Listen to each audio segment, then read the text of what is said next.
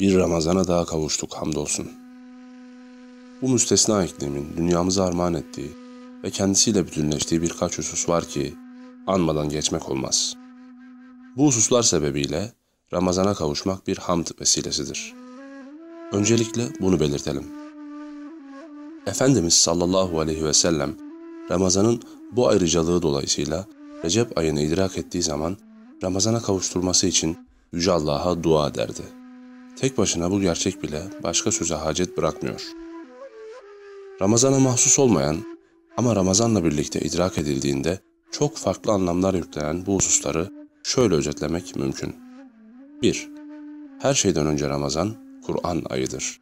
Kur'an'ın gerek bu ayda dünya semasına nazil olması, mukabelenin bu ayda icrası ve bu çerçevede her zamankinden daha fazla Kur'an okunması Ramazana bu hususiyeti veren başlıca vakalardır.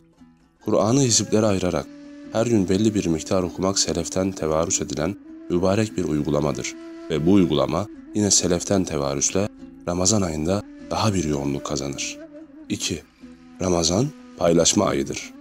Varlıkla imtihan edilenler oruç vasıtasıyla iki türlü kazanç elde ederler.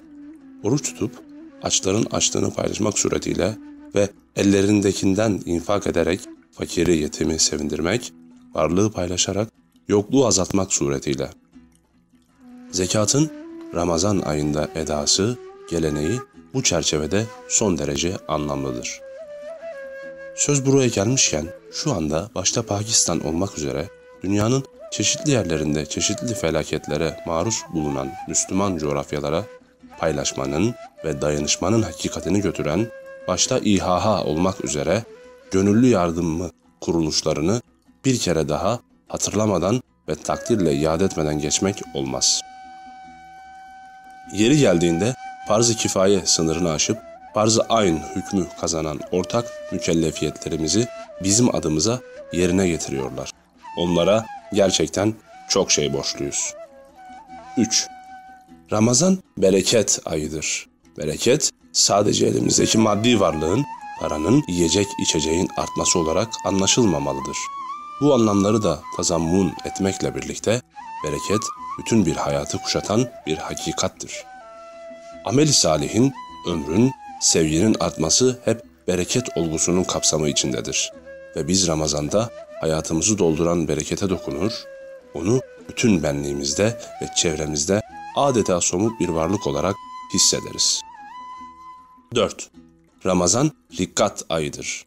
Bu ayda ruhlar tasaffi eder, kalpler incelir, duygu yoğun bir boyuta intikal ederiz ümmet olarak. Orucun sadece bedeni hizaya sokmakla kalmayıp, aynı zamanda ruha da kıvam verdiği, oruç tutan herkesin bildiği bir gerçektir. 5. Ramazan, dünyadan uzaklaşma, daha doğrusu dünyevileşme virüsünü bünyenin dışına atma mevsimidir. Kulluk bilincini bütün boyutlarıyla yaşadığımız oruç mevsimi bir anlamda salt maddi boyutumuzun dışına çıkıp buradaki varlığımızı madde, mana bütünlüğü, dünya, ahiret beraberliği düzleminde idrak etme imkanı sunar bize. Bilhassa son 10 günde girilen itikaf süreci maddeye boğulan varlığı oradan çekip çıkaran bir fonksiyon icra eder. Dünya ile aramızdaki mesafenin olması, gereken noktaya çekilmesi için gerçekten bulunmaz bir fırsattır o. 6. Ramazan, bütün bunların bir neticesi, toplamı, hasılası olarak bir arınma ayıdır. Orucun, Yüce Allah'tan başka kimsenin takdir edemediği hakikati ve kıymeti dolayısıyla Ramazan gerçek anlamda bir kurtuluş ayıdır. Bünyesinde adeta bütün ibadetleri toplayan, böyle bir aya yakışan da budur zaten. Teravih ve nafilelerle yoğunlaşan namazın, infakın her türlüsünün ve o çerçevede zekatın, küçük hac anlamında umrenin, Kur'an kıraatinin ve zikru tesbihatın oruç ibadeti etrafında halka halka yoğunlaşması elbette arınma ve günahlardan temizlenme getirecektir. Bizi bir kere daha bu kutlu iklime eriştirene hamdolsun. Ramazanı şerifiniz mübarek olsun.